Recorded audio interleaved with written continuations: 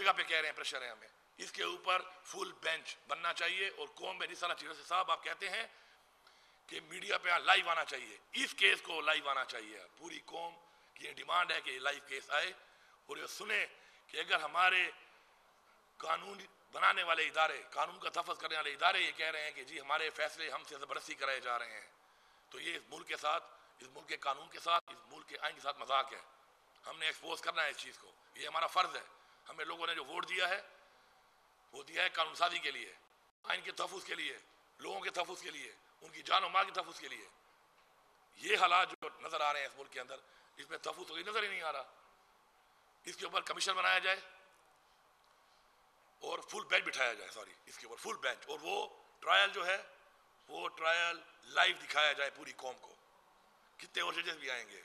Commissioner साहब कहाँ हैं रावलपिंडी वाले? कोई ये सवाल कर रहा है?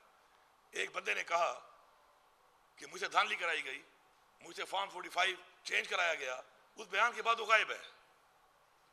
और एक अजीब मज़ाक शुरू है इस कौम के साथ ये कहा जा रहा है कि जी, वो दिमागी मरीज़ है। दो महीने पहले आपका चीफ मिनिस्टर वहाँ का, आपके बड़े बड़े लोग उसके बेटे या बेटी की शादी में पहुँचे हुए हैं। दिमागी मरीज़ के बेटे और बेटी की शादियों पे आप घूमते हैं। या एक दिमागी मरीज़ को आपने पिंडी जैसे इतने इंपॉर्टेंट जगह पे कमिश्नर बना के रखा हुआ है। ये आपकी परफॉर्मेंस थी, ये आपकी टेरम गवर्नमेंट थी, जो आपने बनाई थी। पीटीआई का तो वर्कर फेसबुक पे पोस्ट करता था, आप उसको पकड़ लेते थे। इतनी तेज़ी हम दिखा रहे थे, जितना ज़ोर पीटीआई के खिलाफ लगाया गया है।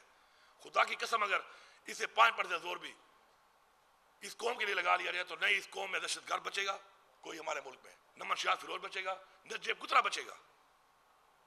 लेकिन उनके लिए कुछ नहीं हो रहा।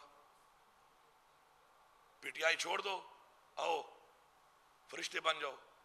अब गुलामी इमरान खान जो कहता था बार बार कि हम गुलाम हैं, शायद बहुत से लोगों को समझ नहीं आती होगी। आज मैं कौन को बता रहा हूँ कि ये कहता था इमरान खान कि आप गुलाम हैं, कि आपको जब कहा जाएगा कि इस पार्टी का आप झंडा नहीं लगाओगे, आप इस पार्टी को वोट तक नहीं दोगे, आप इस पार्टी का हिस्सा नहीं रहोगे, आप इस पार्टी के उम्मीदवार नहीं बनोगे, यही गुलामी होती है। अगर हम चाहते हैं कि हम गुलाम बन जाएँ तो ये हालात जो चल रहे हैं, फिर हमारे बच्चे शायद गुलाम से कोई बदतर, कोई स्टेज, कोई कैटेगरी आएगी, वो बनेंगे। लेकिन हम ये नहीं कर सकते।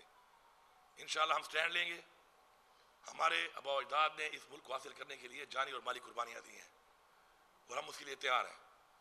हम इस्लाम को ठीक करने के लिए बैठे हैं यहाँ पर।